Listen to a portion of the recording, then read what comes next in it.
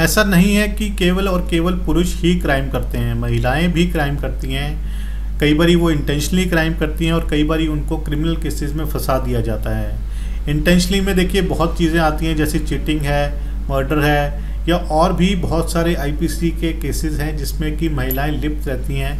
हालाँकि उनकी proportion in comparison to the male person वो काफ़ी कम होती है, क्योंकि बहुत सारे क्राइम जो हैं वो पुरुष करते हैं, बहुत कम क्राइम्स होते हैं जो कि महिलाएँ उसमें इन्वॉल्व होती हैं। या अगर हम बात करें फंसाने की तो ऐसे में जैसे 498 ए का केस है तो बहू अपनी मदर इन लॉ को उसमें एक्यूज बना देती है, या सिस्टर इन लॉ है, या और हस्बैंड के और फीमेल जो रिलेटिव्स हैं, उनको भी एक्यूज बना दिया जाता है। ऐसे में जब बात आती है अरेस्ट की तो क्या महिलाओं को अरेस्ट करना किसी भी टाइम पर अरेस्ट किया जा सकता है। क्या उनके कोई राइट्स हैं इसके रिगार्डिंग यदि पुलिस ने किसी भी महिला की स्टेटमेंट रिकॉर्ड करनी है तो ऐसे में क्या लॉ है? क्या महिला के राइट्स हैं? ये सब कुछ पता होना चाहिए। आज का वीडियो इसलिए भी इंपॉर्टेंट है कि हर एक महिला को अपने राइट्स रिगार्डिंग द अरेस्ट पता होने चाहिए। अपने rights regarding the police station पता होने चाहिए। तो आज के इस वीडियो में हम इसी टॉपिक के ऊपर बात करेंगे। वीडियो को अंत तक ज़रूर देखिएगा। और वीडियो शुरू करने से पहले मैं आपको रिक्वेस्ट कर दूँ कि यदि आपने अभी तक चैनल को सब्सक्राइब नहीं किया है तो चैनल को सब्सक्राइब कर लीजिए, साथ ही नोटिफिकेशन बेल आइकन भी दबा दीजिए। और यदि आपकी कोई भी लीगल समस्या है लीगल क्वेरी है तो आप मुझे भेज सकते हैं ताकि मैं आपको उसका अप्रोप्रिएट सोल्यूशन बता सकूँ। तो चलिए वीडियो को शुरू करते हैं। महिलाओं के इंटरेस्ट और राइट को प्रोटेक्ट करने के लिए सीआरपीसी में अमेंडमेंट की गई 1973 में और उसमें सेक्शन 46 क्लॉज 4 में ये बताया गया कि जब भी किसी महिला को अरेस्ट करना है तो ऐसे में टाइम का बहुत ध्यान रखना है। आप किसी भी टाइम पे पुलिस किसी भी टाइम पर जाके महिला को अरेस्ट नहीं कर सकती, चाहे वो महिला पुलिस ही क्यों ना हो। देखिए, महिला को अरेस्ट करने के लिए महिला पुलिस ही होनी चाहिए, ये हम सबको पता है। लेकिन क्या महिला पुलिस किसी भी टाइम पर जा कर के किसी भी महिला को जो कि को अक्यूज है या अक्यूज है किसी केस में, उसको अरेस्ट कर सकती है। नहीं, ऐसा बिल्कुल भी नहीं है। महिला पुलिस भी उसको यदि अरेस्ट करना है तो उसको सनसेट से पहले करना है और सनराइज़ के बाद में करना है। यानी कि जो दिन का वक्त है सनराइज़ के बाद, यानी कि जब दिन शुरू हो जाता है और दिन ख़त्म होने से पहले पहले ही अरेस्ट करना है।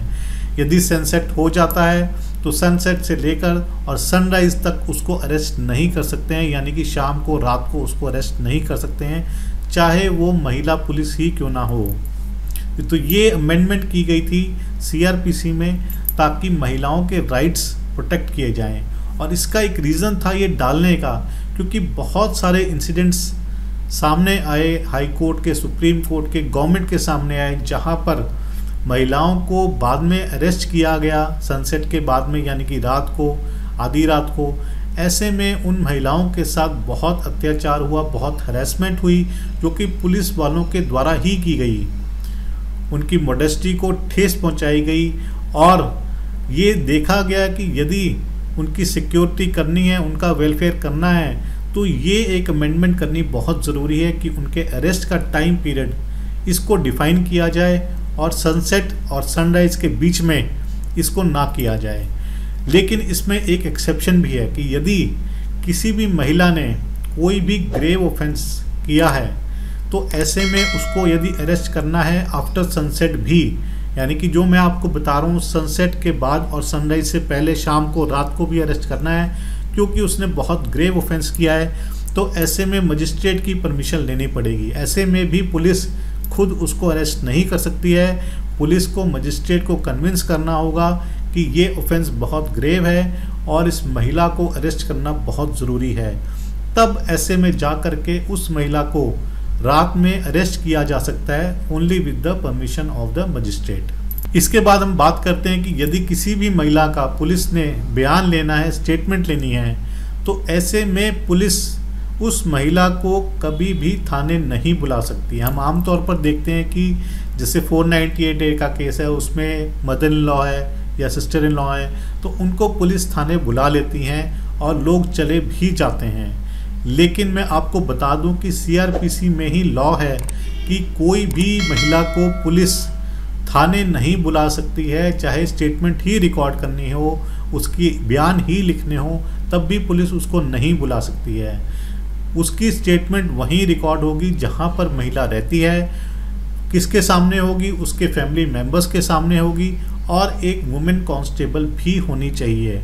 तो ये आपको पता होना चाहिए कि जब भी किसी महिला को पुलिस बुलाती है स्टेटमेंट रिकॉर्ड करने के लिए बुलाती है तो आपको ये पता होना चाहिए कि आपका राइट है कि आप अपनी स्टेटमेंट अपने घर में, अपने फैमिली मेंबर्स के साथ में दे सकते हैं। साथ में वुमेन पुलिस कांस्टेबल हो सकती है। कोई भी पुलिस वाला, किसी भी महिला से ज़बरदस्ती उसको पुलिस स्टेशन बुला करके उसकी स्टेटमेंट नहीं रिकॉर्ड कर सकता। और यदि ऐसा होता है तो आप उस पुलिस ऑफिशियल की कंप्लेंट कर सकते हैं। आप उसके अगेंस्ट एक्शन भी ले सकते हैं। ऐसे में ये सभी चीज़ें महिलाओं की राइट्स उसके इंटरेस्ट और सिक्योरिटी को ध्यान में रखते हुए बनाए गए हैं, जो कि बहुत सारे लोगों को नहीं पता हैं। तो ये सभी आपको पता होने चाहिए। ताकि आप लोग भी एक जागरूक इंसान बने और अपने हक के लिए लड़ें। आशा करता हूँ कि आपको वीडियो पसंद आया होगा। यदि वीडियो पसंद आया तो वीडियो को लाइक और शेयर ज़रूर कीजिएगा। अगली बारी मिलेंगे नए वीडियो में, नए टॉपिक में। तब तक के लिए धन्यवाद। जय हिंद।